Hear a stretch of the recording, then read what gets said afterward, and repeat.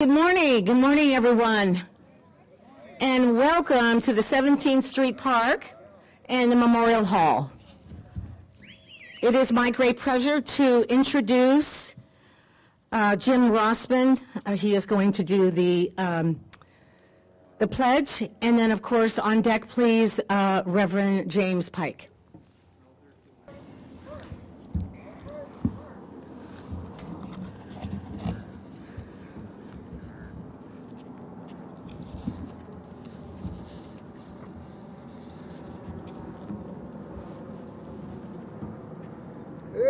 Halt! Left face. Pose colors. Port arm.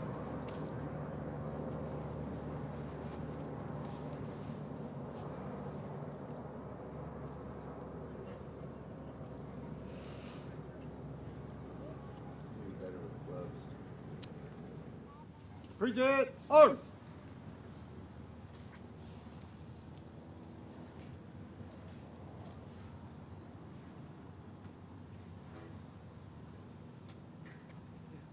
I pledge allegiance to the flag of the United States of America and to the republic for which it stands, one nation, under God, indivisible, with liberty and justice for all. Two. We ask for a blessing upon this place, O Lord.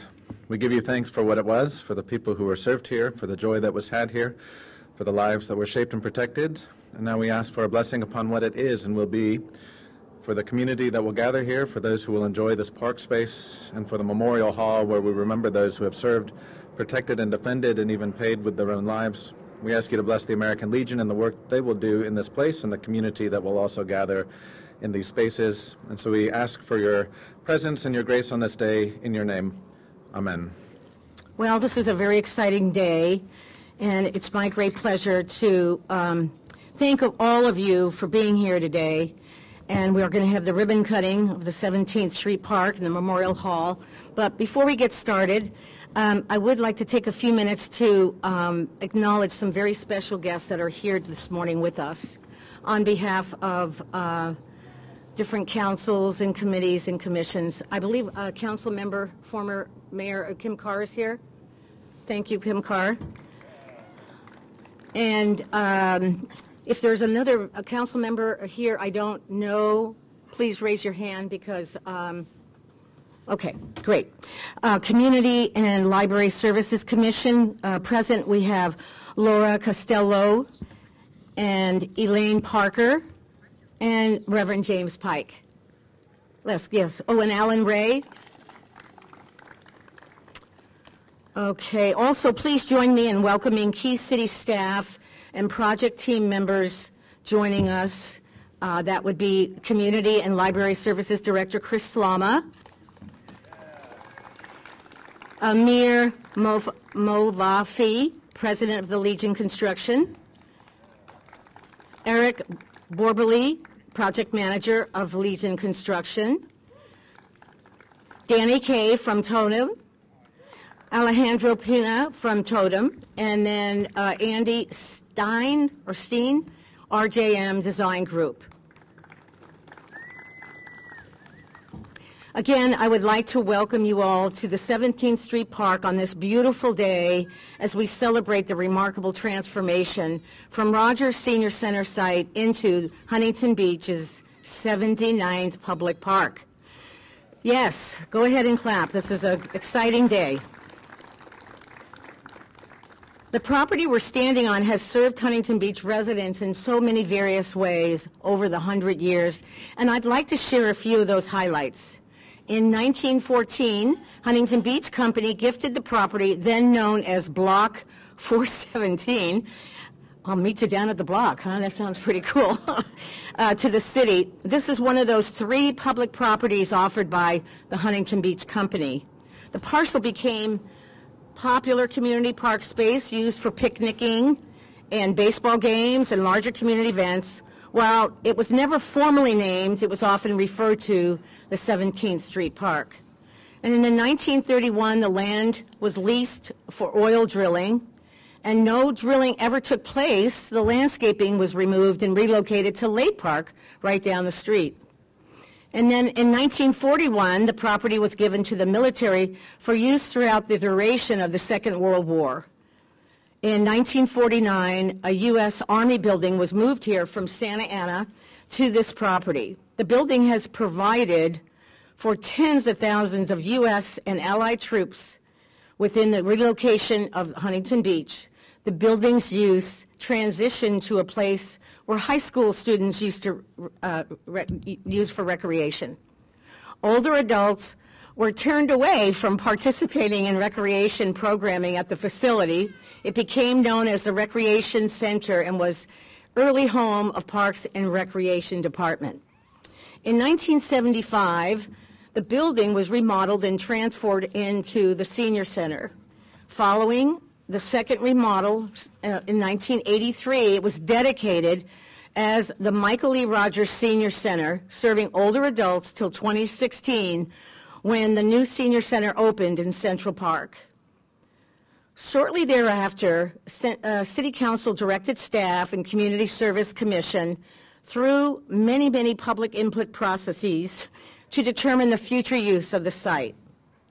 At this time, I'd like to invite our Director of Community and Library Services, Chris Slama, to come up and share a little bit more about how we ended up here today. Chris?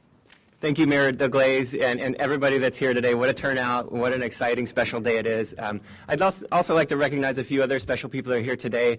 Um, we have a former mayor and council member, uh, Jill Hardy, is here with us today, too. Um,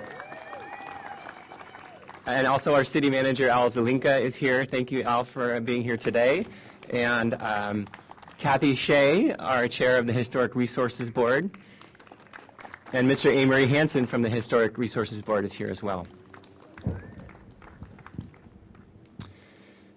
So after the Rogers Senior Center closed, and really in the years leading up to that, we heard very clearly from this community that you wanted to return the site into its original use when it was first donated to the city over 100 years ago into a public park. After several meetings and discussions and, and many different interim uses of the former Rogers Senior Center building, city staff and RJM Design Group kicked off the design process by gathering feedback from our community. Back in 2019, over 100 residents attended a charrette workshop at the old Michael E. Rogers Senior Center site in a dingy room that was right about there previously. I see a lot of familiar faces here today um, that were with us. Participants sat around round tables, uh, providing input on likes, dislikes, issues, concerns, um, and de desires for the park and facility amenities that, that you wanted to see here. I specifically remember being in that room and sensing a whole range of emotions. Um, everything from excitement, some frustration, some anxiety, and pretty sure I saw some eyes rolling at, at, at times. but most importantly, there was meaningful conversation that initiated a solid start to community consensus. Multiple meetings followed, considering various iterations of a new plan. What we heard, ultimately from the community, and what City Council approved was this two-acre passive park and improvements to the former senior outreach building behind me for community use and dedicated space for the American Legion Post 133.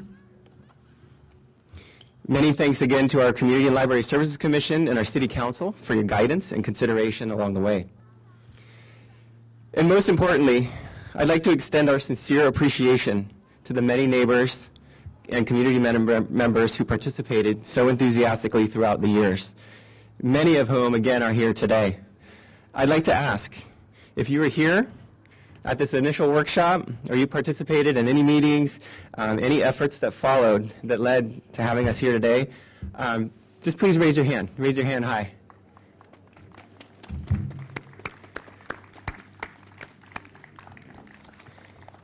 Thank you. Thank you all sincerely for your dedication, for your voice, your patience, and your contribution. Your involvement and passion will provide endless opportunities for neighbors, residents, and visitors alike to create memories, take a break from their stressful day, and enjoy Huntington Beach's one of Huntington Beach's greatest assets, our open space. So aside from designing the future of the park, there remain further challenges and opportunities, like naming these new amenities. To talk more about the naming and recognition journey, I'd like to welcome Community and Library Services Commission Vice Chair, Reverend James Pike, back to the microphone. Thank you. Not only do I pray, but I name things in the city. Well, I want to recognize the other people who are on this commission with me, uh, Laura Costello, who I know is here, and then also Council Member-elect Pat Burns, who I don't know could make it this morning, but the three of us were on the Park Naming and Memorials Committee. And once it was decided to move forward, this was a multi-year project, as many of you will remember. Uh, it was important to bring together the community and figure out how we accomplished a few different things. One was the naming of this space.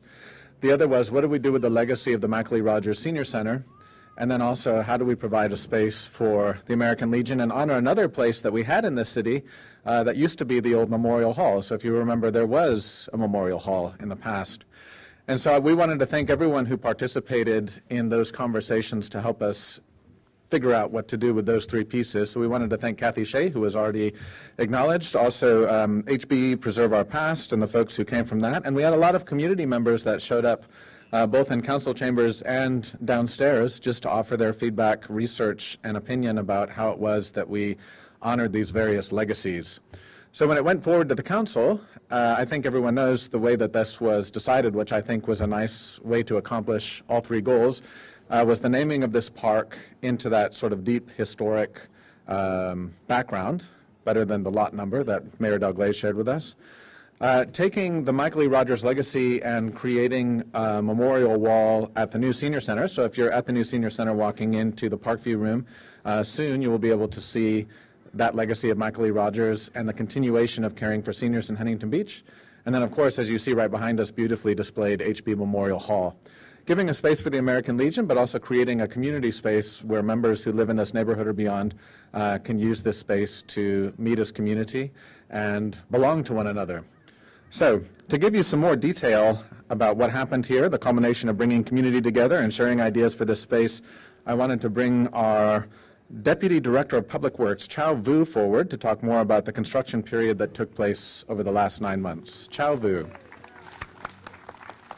All right, so in 2021, the city executed a contract with Legion Contract Contractors for the decommissioning of Rogers Senior Center, which includes building improvements to Memorial Hall and transferring the hardscape parking lot to the greenscape that you see here today.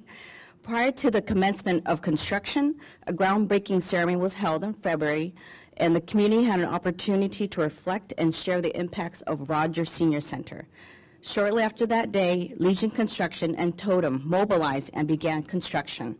The demolition of Senior Center began, and many of our neighbors were watching just beyond the construction fence.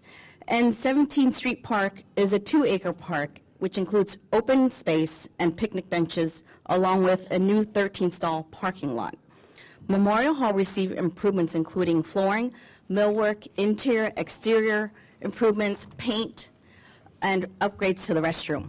This facility will truly serve the American Legion and our community as the original Memorial Hall did in the 1930s.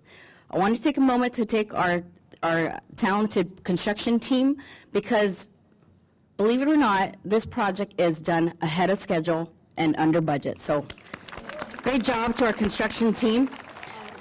And um, I want to recognize Legion Construction President Amir Malvagay, Project Manager Eric Borley. From Totem, we have Danny Kay, Alejandro Pinel.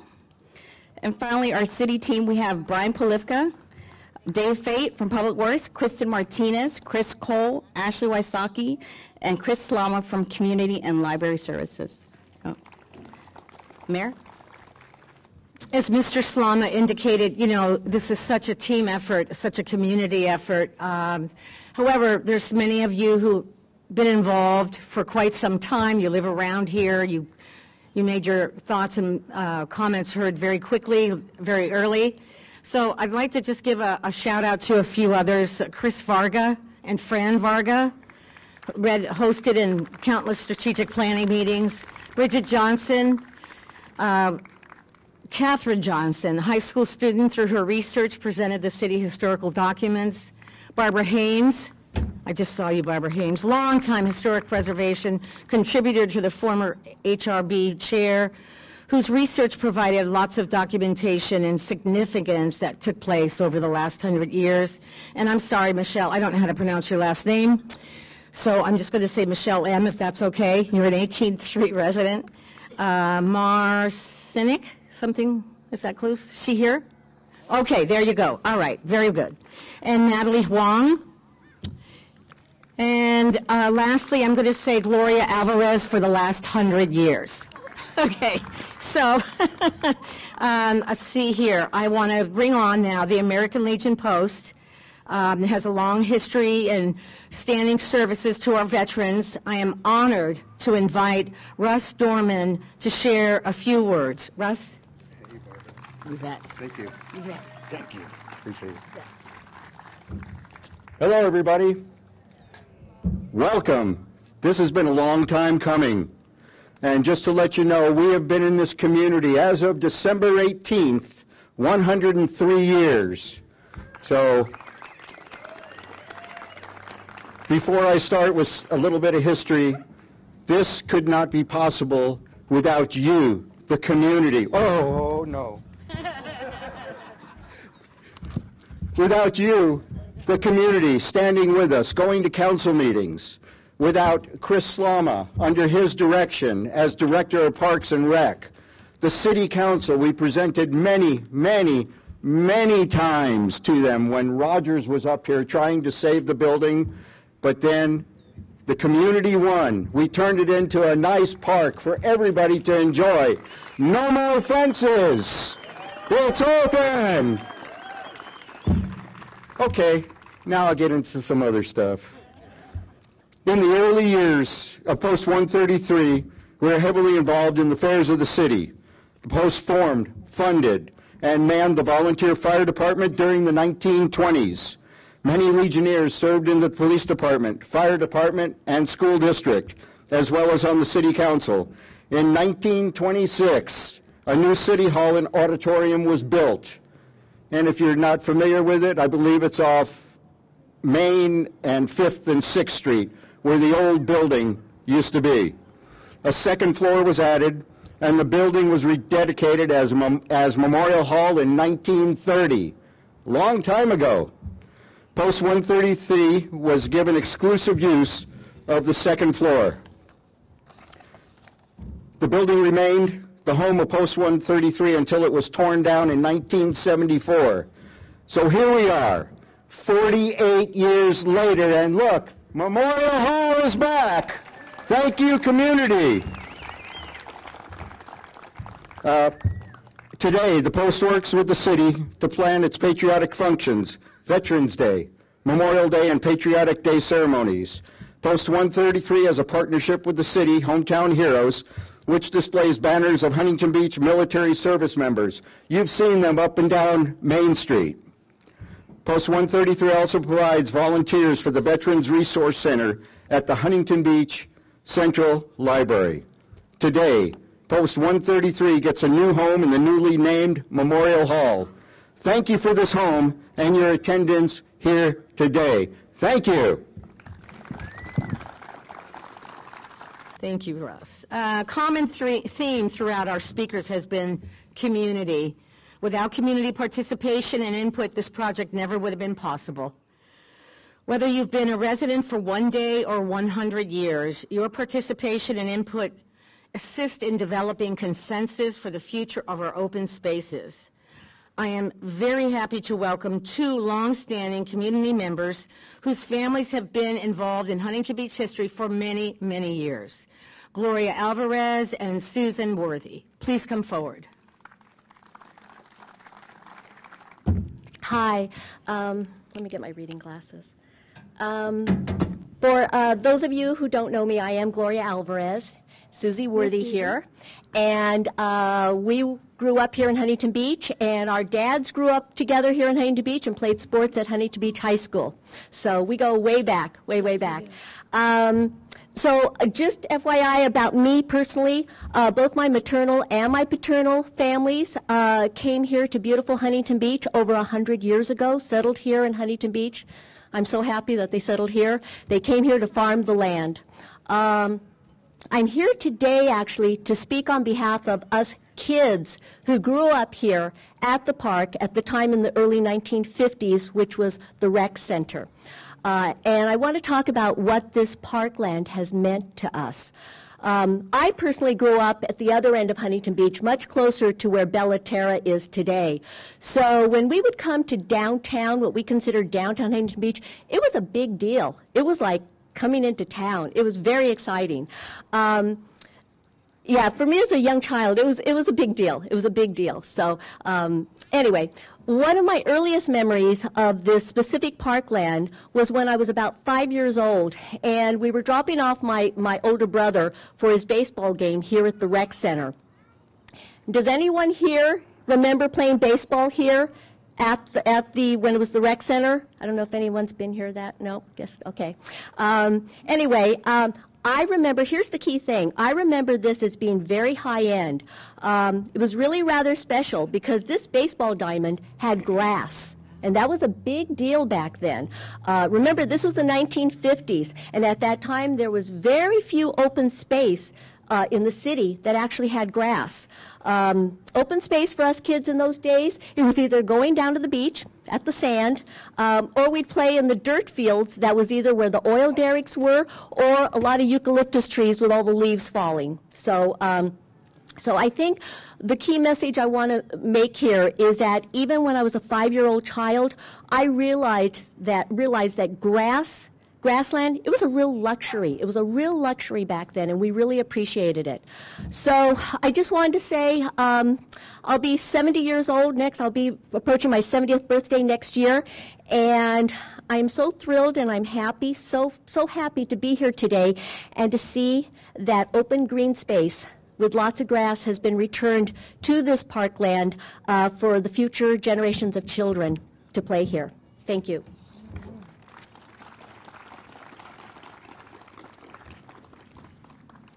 That was great, Gloria.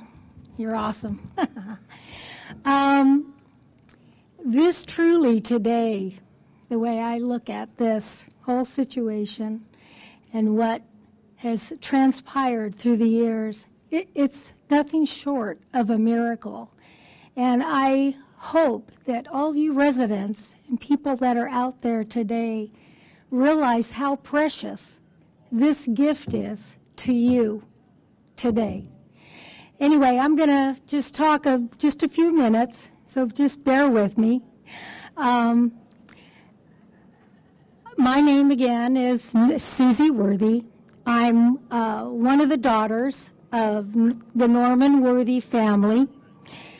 I am here today to say a few words regarding some of the history of how wonderful this very land is being dedicated today back to its original 17th Street park namesake.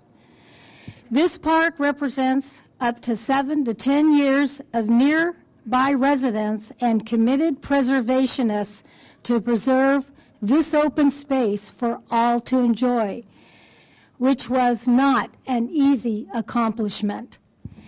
In the 1950s, this park was the home away from home for all the kids in Huntington Beach. It was the one and only recreation center that existed. My father, Norm Worthy, became the director in 1954.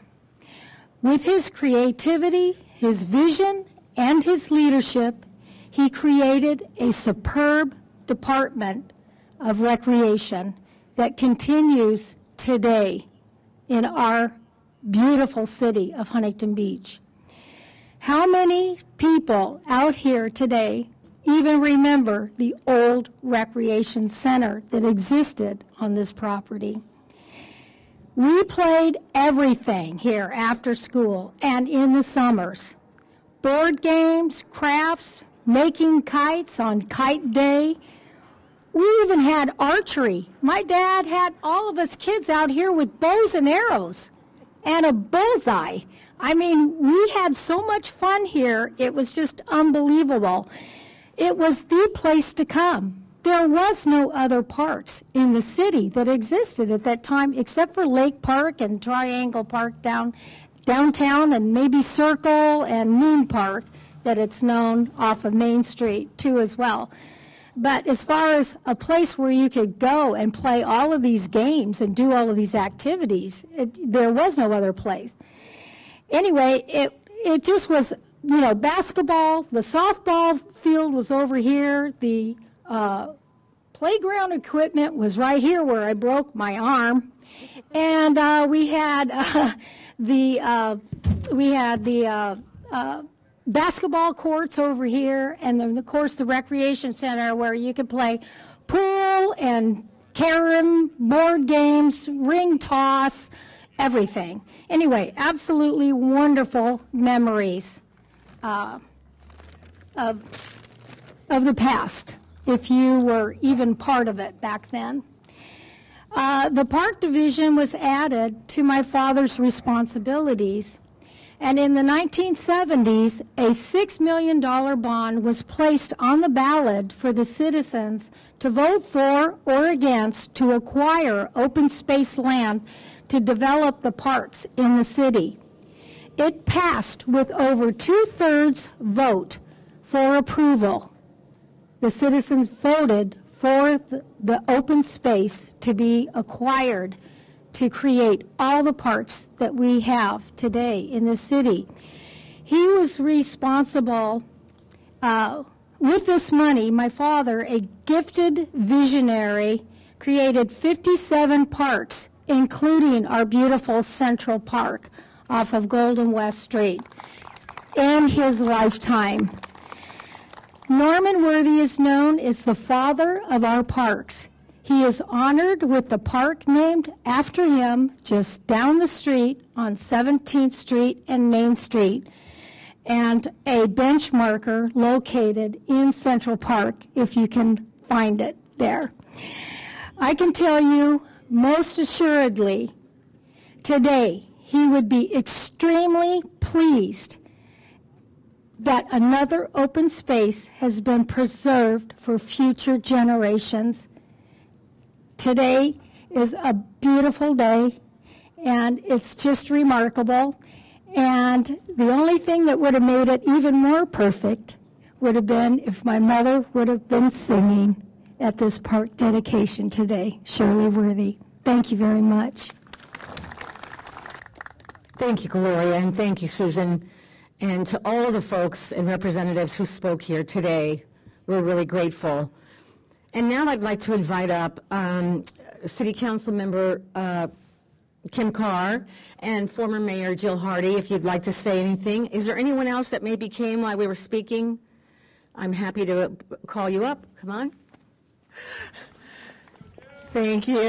It's so amazing to actually be here and see this come to fruition. I was telling Barbara, I feel like this is almost like having a baby and I've been in labor for like 30 plus hours and it's just never going to come out.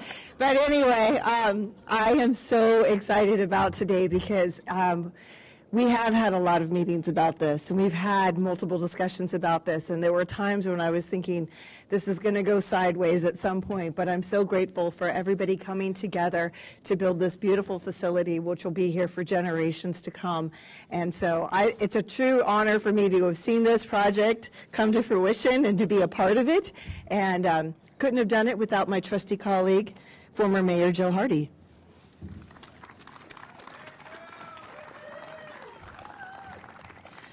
I just want to point out that this is a monument to community involvement, that the neighbors and other residents throughout the city, um, the American Legion, they were so involved in what became of this property, not just returning it to a park, but what kind of park it would be and how the space would be shared with the community.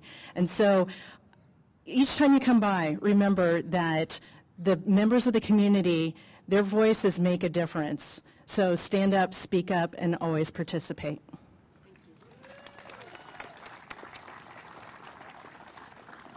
Thank you so much. And if you won't mind, I will take a, a moment of of sharing just maybe a few things about myself. I um, this is kind of a bittersweet day. This is really one of my last uh, services as mayor. I've had the good fortune to be your mayor for a second time in the last eight years. It's been an honor and a privilege. And I was talking to someone earlier when I got here, and um, when I moved to Huntington Beach, I lived like two blocks over here, 15th and Pecan. And, you know, I didn't really have the sense of the historic knowing at that time what this was. And so, what I mean by being a park and all of that, I just know that I brought my daughter here and we played here in the park. And um, those were really exciting times in a way. Um, I've got to tell you very honestly, we came here with not a lot of money, um, a lot of hopes, absolutely loved the beach. I thought I'd died and gone to heaven. I could carry her, literally carry her, and walk to the beach. So those were kind of things were pretty special. Anyway, as life would have it, um, I grew up, got a job, you know, all that good stuff. So I've been here now 50 years, and um, I'm will be eternally grateful for this experience. So many of you in the grassy area right now, I've known for a long time. Some of you just met you today. But just let me say to you that, like you, I love Huntington Beach, and I have for a very long time, even before I got here. uh, one of the first things I did when I moved here, if you can believe that, but I had a girlfriend that um, used to surf, and I got here to Huntington Beach, and I took a big handful of sand right by the pier and put it in a, a Ziploc bag and send it back to her in New York. Um, it just, you know, it's just one of those things how special our community is. So I want to personally say thank you to all of you here who are present and the ones that are not. It's been a ride of a lifetime, and I'm extremely grateful. So thank you. Four, three, two, one. Woo! É.